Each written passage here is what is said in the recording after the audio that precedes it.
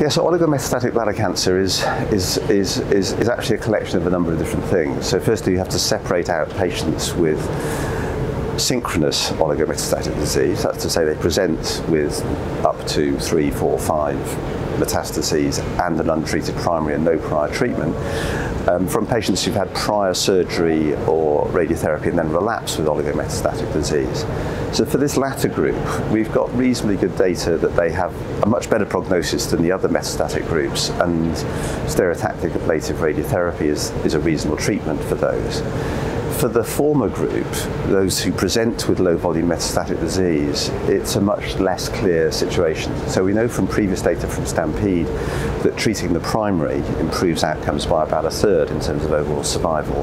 What we don't know is whether you should attempt to treat the metastases with stereotactic radiotherapy as well. So that's a randomization we're setting up. So in this session, we're going to look at um, a case history presenting with synchronous metastatic disease um, as a sort of basis for further discussion, really to highlight the fact that giving stereotactic radiotherapy is creeping into practice, but really not with a very good evidence base in synchronous metastatic disease. The second component of this is the shift in imaging that's occurring from CT and bone scan to PSMA PET in particular based imaging.